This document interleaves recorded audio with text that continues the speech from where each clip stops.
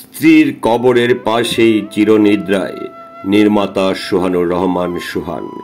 Viewers বিস্তারিত জানতে আমাদের পুরো ভিডিওটির সঙ্গেই থাকুন।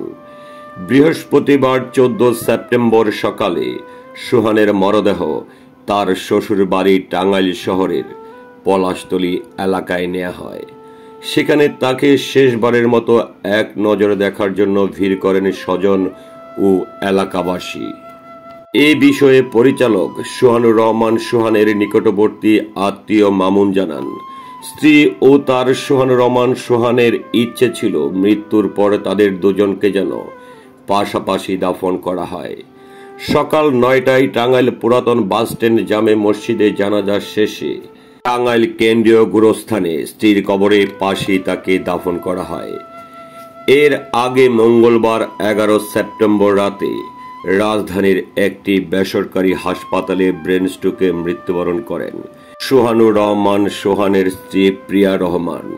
ঠিক এর একদিন পরই বুধবার বারো সেপ্টেম্বর সন্ধ্যা ছয়টার দিকে শেষ নিঃশ্বাস ত্যাগ করেন সোহানুর রহমান সোহান এদিকে একদিনের ব্যবধানে দুজনের মৃত্যু হয় শোকের পাথর হয়ে আছেন নিহতের স্বজন ও এলাকাবাসী। বহু সফল চলচ্চিত্রের নির্মাতা সোহানুর রহমান সোহান। তার পরিচালিত প্রথম চলচ্চিত্র বিশ্বাস, অবিশ্বাস। এই নির্মাতার হাত ধরে চলচ্চিত্রে আসেন সালমান শাহ, মৌসুমি পপি ও ইরিন জামান। শাকিব খানের মুক্তি পাওয়া প্রথম সিনেমার পরিচালকও ছিলেন তিনি।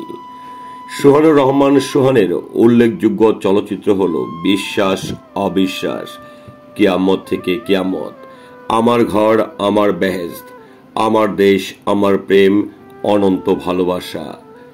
সোহানুর রহমান, সোহান বাংলা চলচ্চিত্র পরিচালক সমিতিতে টানা দুইবার মহাসচিব এবং দুবার সহ সভাপতি হিসাবেও তিনি নিষ্ঠার সঙ্গে দায়িত্ব পালন করেছেন। এগারোই সেপ্টেম্বর স্ত্রীকে হারিয়ে অনেকটাই দিশেহারা হয়ে পড়েছিলেন সোহানুর রহমান সোহান। ঠিক পরিবারের এই একটি শোক না কাটতেই ঠিক বারোই সেপ্টেম্বর একই সময়ে পৃথিবীর মায়া ত্যাগ করে চলে গেছেন এই গুণী নির্মাতা। সোহানুর রহমান সোহানের এই মৃত্যুর সংবাদটি প্রকাশ হতেই চলচ্চিত্র থেকে শুরু করে সারা দেশের চলচ্চিত্র প্রেমীদের মধ্যেই যেন এক সুখের ছায়া বয়ে আসে। ছুটে যান তার সহকর্মী থেকে শুরু করে সাধারণ মানুষজনও এমনকি ছুটে যেতে দেখা গেছে।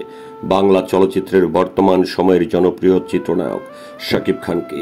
আর শাকিব খান সেখানে যেই প্রকাশ করেন, তার আজকের এই শাকিব খান নামটি দিয়েছিলেন সোহানুর রহমান সোহান।